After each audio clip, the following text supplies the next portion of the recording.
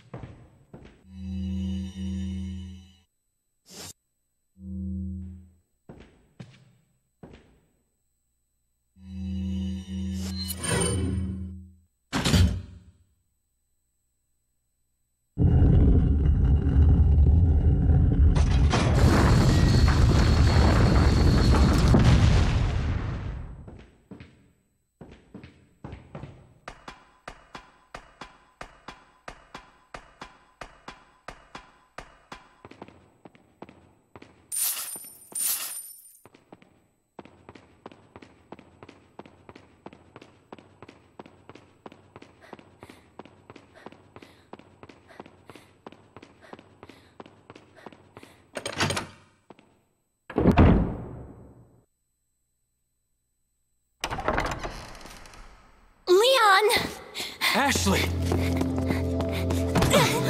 you did good. I'm sorry if I was. Oh, don't worry about it. Come on, let's move on.